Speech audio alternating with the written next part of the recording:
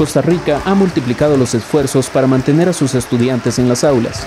La exclusión escolar cayó de 7,2% en 2017 a 3,5% en el tercer ciclo y educación diversificada en 2018, a pesar de la extensa huelga.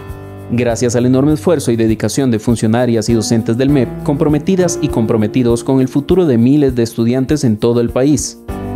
Esta tarea se ha visto reforzada con una fuerte inversión en infraestructura, reflejada por ejemplo en los más de 10 millones de dólares invertidos en Alajuela, en la Escuela María Vargas en Ciruelas y el CTP de San Rafael. Lo que queremos es más colegios como este en todo el país.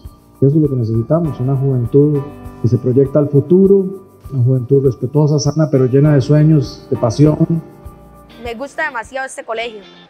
Me gustaría informático o si no, también me gustaría aprender contabilidad.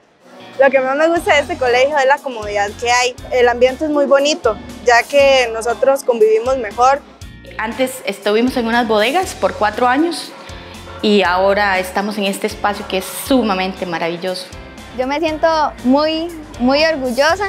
Ahora con la nueva escuela tenemos soda, aulas propias del nuevo gimnasio. Seguimos construyendo el futuro de Costa Rica.